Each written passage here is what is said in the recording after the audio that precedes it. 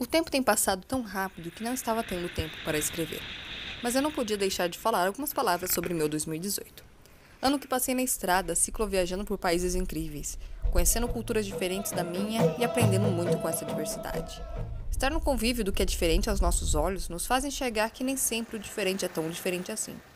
Viajar o mundo nos ensina muito mais do que geografia e idiomas.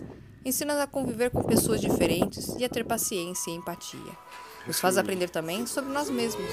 Em uma viagem longa de bicicleta, você consegue identificar seus pontos fracos, seus limites, seus gostos. Você é capaz de dizer exatamente o que gosta e o que não gosta, o que quer e o que não quer. E aprende a aceitar que, mesmo planejando, nem sempre tudo sai como deveria.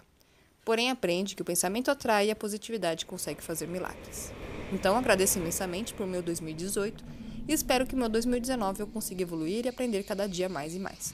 Pois afinal, acredito que um dos motivos que estejamos aqui seja esse: aprender e evoluir.